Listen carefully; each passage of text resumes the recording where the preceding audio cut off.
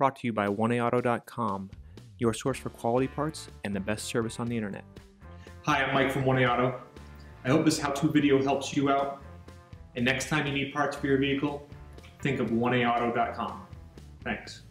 In this video, we're going to be working with our 2001 Ford Ranger. We're going to show you how to remove and replace your headlight assembly, or you can follow these same steps to access the turn signal and headlight bulb if you need to change them. We're going to be working on the passenger side, but this information is the same for the drivers.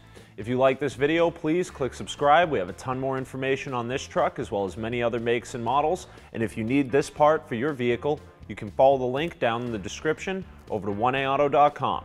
Here are the items you'll need for this repair. Remove the three 5.5 millimeter bolts on the top cover for the headlight with a socket ratchet and extension.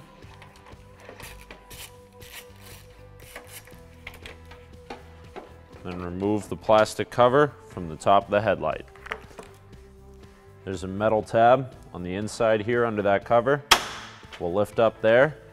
Don't lock it all the way up. You want to let it sit at that float point there. Get the one on the opposite side here. Same thing. Lift up. Hit that balance point. Might have to wiggle them a little if the headlight's not coming out smoothly.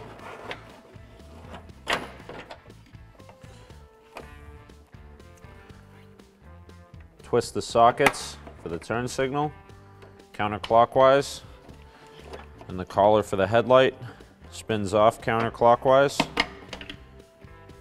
We'll place our headlight assembly off to the side. Now if you're just in here to change the bulbs from this point, the headlight disconnects from this electrical connector. Want to lift up on those tabs. Pull the assembly out of the socket. New bulb snaps in. Be sure that this collar sits between the socket and the bulb. Turn signal simply pulls straight out. Your new bulb pops straight in.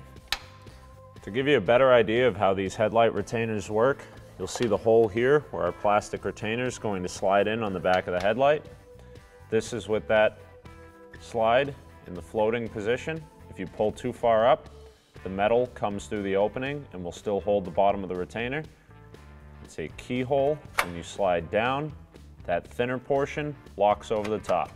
So when we hit this nice middle point here is when our headlight comes out nice and smooth. Install the sockets into your new headlight.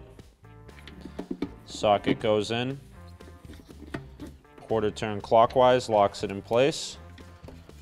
The headlight pops in, the collar goes over the tabs and locks on clockwise. Now we'll line up these pins into the openings. Again, you might have to wiggle those slides a little to get them to go in.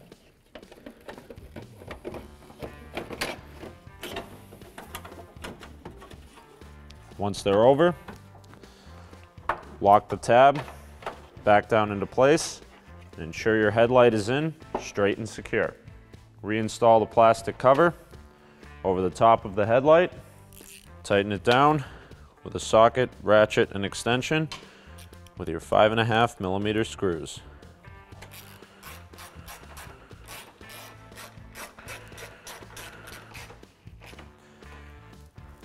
Thanks for tuning in. We hope this video helped you out.